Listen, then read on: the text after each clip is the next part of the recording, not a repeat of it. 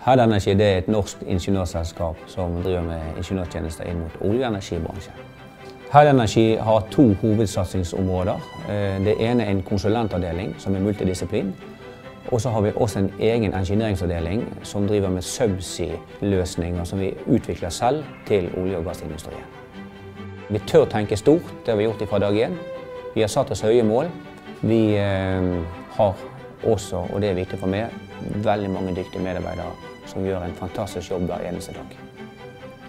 Nøkkelen til vår suksess er at vi er fire veldig forskjellige gründere som jobber utrolig godt sammen.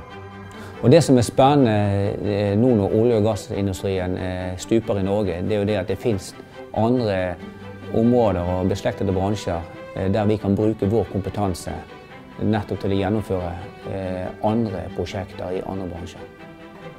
Head Energi er en samling av mange dyktige hoder og masse energi. Og det tror jeg våre kunder opplever hver dag.